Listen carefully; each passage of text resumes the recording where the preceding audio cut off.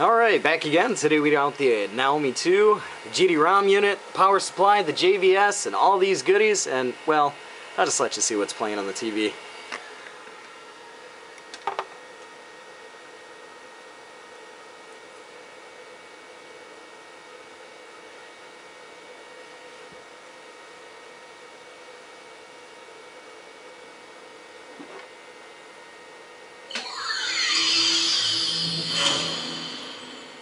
This is too cool. Don't have uh, the steering wheel yet, but bam. Initial D arcade stage is now working. Figured we could uh, just run through and let you watch the demo of it. So sit back, enjoy the awesome music, and uh, yeah, see you in a few.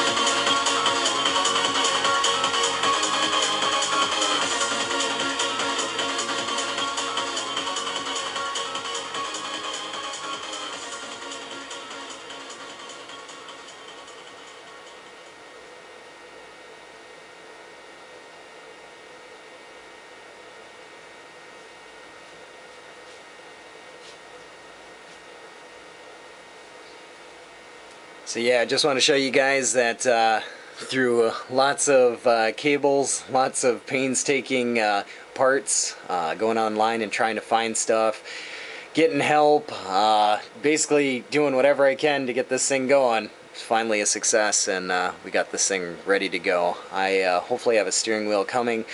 I'm going to have to find a set of pedals or wire some up, but yeah, we are that much closer to doing some gameplay for Initial D arcade stage.